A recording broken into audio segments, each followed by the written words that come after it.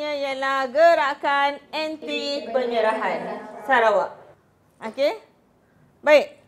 Untuk tajuk yang ini, saya nak kamu baca sendiri dalam masa 10 minit. Apakah yang dibuat oleh penduduk Sarawak untuk menentang gerakan tersebut? Baca sendiri 10 minit, lepas tu nanti saya akan tanya kamu. Dan kamu berilah maklumat. Okey?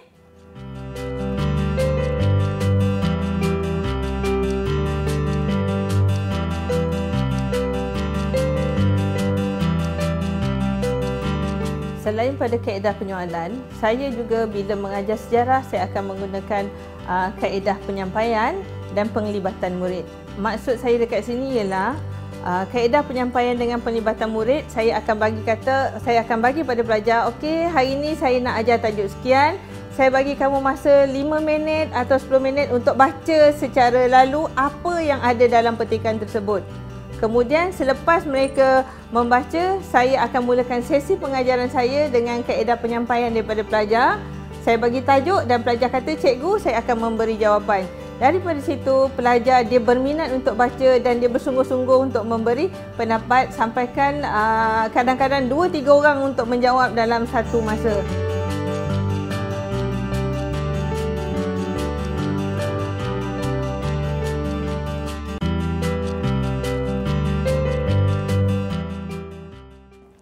Baca? Dah faham? Okey, kita mulakan. Cikgu, saya nak beri penerangan. Okey, Firzana, silakan. Penyerahan Sarawak dibantah kerana bertentangan dengan Perlembagaan 1941 yang menjanjikan Sarawak berkerajaan sendiri. Usaha mereka menjadi lebih sukar apabila Sarawak diserahkan kepada pihak Okey, betul jawapan kawan kamu. Cikgu saya nak tambah. Okey, Fika. Faktor yang kedua ialah tipu muslihat. Charles Vinderbrook uh, dia buat keputusan tanpa berunding dengan pemimpin-pemimpin tempatan dan ketua-ketua bumi putra. Okey, betul kata Fika. Jadi kita dah pergi tadi yang pertama Perlembagaan 1941, yang kedua berkaitan dengan tipu muslihat. Seterusnya. Okey, Sharifah nak tambah apa? Uh, faktor yang ketiga untuk gerakan anti penyerahan Sarawak ialah Anthony Brooke tidak dilantik sebagai Raja Sarawak.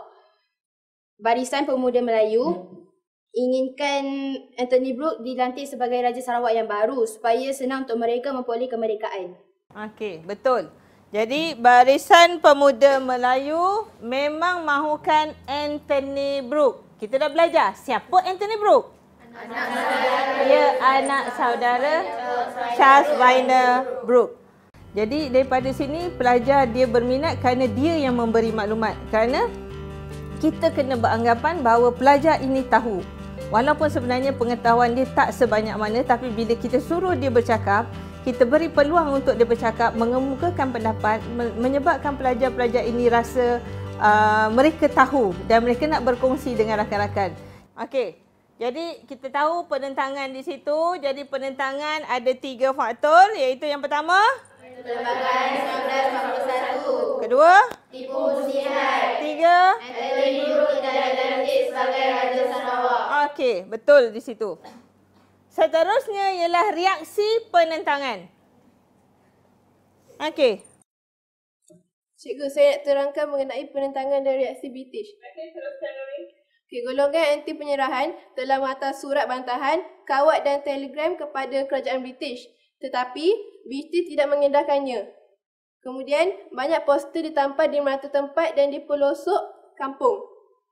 Setiap kampung dikerang membuat poster dan spanduk. Antara kata anti penyerahan ialah Sarawak adalah hak kami, leburkan koloni. Okey, betul kata Nurin kat situ iaitu penentangan menghantar poster, hantar surat telegram dengan membuat spanduk.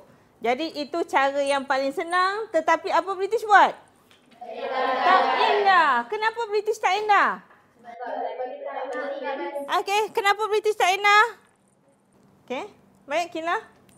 British tidak indah kerana menginggap ia hanya penentangan yang bersifat sementara. Ya, British tidak mengendahkan kerana ia menganggap penentangan itu hanya berbentuk sementara.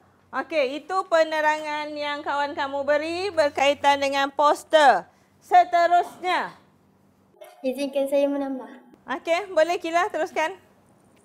Kaum wanita juga terlibat dalam demonstrasi sebagai salah satu gerakan anti penyerahan. Um, contohnya kaum ibu PKMS iaitu Cikgu Lily Erbiwin yang bergerak ke, ke kawasan pedalaman untuk meminta sokongan daripada orang Iban. Selain itu, um, parti BPM uh, seperti Hajar Sharifah, Hajar Sipah Tuanku Osman, Daya Fauzia dan Cikgu Ajibah Abul mengorbankan masa mereka untuk mengadakan demokrasi. Okey. Jadi betul iaitu peranan kaum wanita. Okey, tadi kita dah cerita pasal gerakan anti penyerahan. Lepas tu dah cerita pasal perlembagaan, dah cerita peranan wanita. Ada satu lagi yang belum diterangkan. Okey, ada siapa nak beri penerangan? Okey, silakan. Menjelang akhir tahun 1947, gerakan anti penyerahan semakin lemah disebabkan oleh propaganda British. Jadi, BPM sibuk telah menubuhkan kumpulan yang dikenali sebagai Rukun 13. Uh, salah seorang salah seorang daripada ahli kumpulan Rukun 13 iaitu Rosli Dobi telah ditugaskan untuk membunuh sedangkan Stewart yang merupakan Gubernur Sarawak kedua. Okey. Baik. Jadi betul apa kata kawan kamu tadi, kawan kamu tadi iaitu penubuhan rukun 13. Siapa dia tokohnya? Rosli Dobi. Jadi daripada situ apa rukun 13 berjaya buat? Ya, telah berjaya membunuh sedangkan Stewart yang merupakan Gubernur kedua Sarawak untuk menarik minat pelajar saya mempelajari sejarah. Iaitu yang pertama saya suka bertanya. Yang kedua saya suka gunakan kaedah penyampaian. Saya jarang bercakap di dalam kelas. Saya hanya mengulas balik apa yang pelajar cakap. Jadi kalau saya bercakap kita balik kepada zaman lama iaitu chalk and talk. Jadi bila cikgu keluar kita pun tak tahu apa. Okey, tajuk kita yang akhir ialah ini kebat sebab setiap kamu sekarang ni memang ada soalan kebat dalam semua subjek jadi kamu kena critical thinking. Okey, soalan yang pertama ialah kamu seusia dengan Rosli Dobi, apakah kamu akan melakukan tindakan seperti beliau dan mengapa? Okey, Shasha. Kalau saya seusia dengan Rosli Dobi, saya akan melakukan tindakan seperti beliau. Sebab um, antara empat orang iaitu Moshidi Side, Awang Ramli Muhammad Deli, Bujang Suntong dan Rosi Dobi. Rosi Dobi merupakan uh, yang paling muda antara keempat-empat ni. Uh, dan kita tahu bahawa bawah 19 tahun kita tak boleh dihukum gantung. Sebab bawa, masih bawah umur kan. Uh, macam zaman sekarang, um, macam zaman sekarang kan kita hantar ke Harry Gani kalau ada berlaku uh, gejala pembunuhan atau apa-apa? Baik, betul eh kata kawan kamu. Dia akan buat sebab bawah 18 tahun kita tidak akan dikenakan hukuman bunuh. Okay, kita hanya kena penjara sahaja. Ada sesiapa nak tambah? Kenapa? Kamu rasa wajar? Nak tambah? Tak ada? Tak ada idea? Ha, okay. Bagi saya, tindakan Rosbitovi sangat wajar kerana dengan cara itu, kita dapat menunjukkan semangat juang kita yang tinggi dan sekaligus kita dapat menakutkan dan menggusarkan pihak penjajah. Okey, betul kata kawan kamu. Iaitu tindakan itu wajar sebab kita boleh menakutkan pihak penjajah bahawa kita juga boleh bertindak menentang penjajahan British. Okey, kita pergi kepada soalan kedua iaitu generasi milenium. Generasi milenium ni kamu lah. Okay, adakah tindakan Rosi itu Rosi Dobi itu dianggap wajar kamu yang sekarang ni? Rosi Dobi itu tahun 40-an. Nah, kamu sekarang ni tahun 2014. Ya. Okey. Cikgu izinkan saya beri pendapat saya. Pada pendapat saya, tindakan Rosi Dobi itu tidak wajar kerana sepatutnya beliau uh, menyusun strategi sebelum membunuh Charles uh, sebelum berbunuh sedang ke Sidwood. Kerana uh, akibatnya dia telah dihukum gantung dan telah mati. Mati. Okey, betul.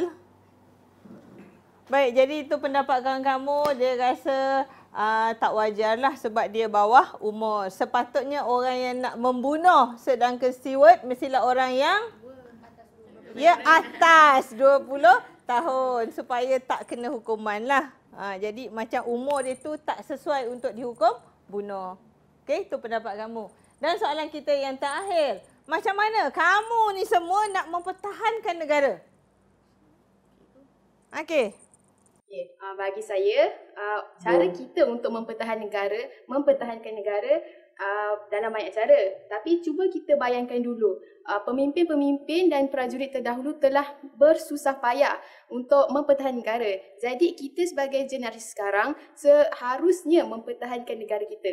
Caranya terdapat dalam rukun negara kita, iaitu kesetiaan kepada raja dan negara. Tanpa kesetiaan, tentu kita tak ada rasa cinta kepada negara, betul tak? Jadi dengan cara tu, kita dapat mempertahankan negara kita daripada anasi-anasi luar seperti tentera Jepun yang sangat tak setia kepada raja ni. Okey. Baik. Duduk. Terima kasih. Jawapan yang tepat, mampat, jitu semua sekali. Betul lah yang dia katakan kenapa kita harus mempertahankan negara sebab kita selalu membaca rukun negara kita yang kena pertahankan siapa lagi kalau bukan kita kita tu siapa Ah, kamu lah. Takkan saya, kamu generasi muda kan? Okey. Ada lagi siapa nak beri jawapan? Kenapa kita kena mempertahankan negara kita? Oh, sukalah kena jajah. Ha, habis siapa nak beri jawapan? Okey, Najwa. Kenapa kita harus mempertahankan negara kita? Sebab kalau kita tak ada negara, kita nak pergi mana? Okey, betul. Terima kasih Najwa. Jawapan yang cukup mudah. ya betul lah kata dia. Kalau tak ada negara, kita nak duduk kat mana? Nak duduk mana? Ha, kubur pun kena ada tanah. Okey. Jadi maknanya kita dah habis eh tajuk kita iaitu berkaitan penentangan penyerang Sarawak. Jadi saya rumuskan sekali lagi semasa pembelajaran kita kita dah belajar mula-mula Sarawak dijajah ah, ditakbir oleh Kesultanan Brunei. Lepas tu diambil alih oleh James Brooke lah, keluarga Brooke. Kemudian diserahkan kepada Charles Brooke. Akhirnya diserahkan kepada kerajaan British. British sepenuhnya. Jadi itulah dia berkaitan dengan pentadbiran British di Sarawak. Jadi kita habis sesi pembelajaran kita pada hari ini.